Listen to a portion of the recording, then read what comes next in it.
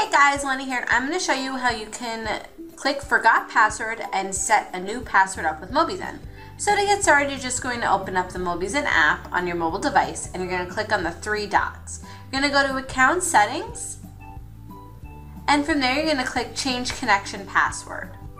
Now if you're here and you remember your current password and you want to put in a new password, you can enter it or on the bottom click I forgot my password and now you're going to click on next and Mobizen will send you an email to the email address you have registered with that account.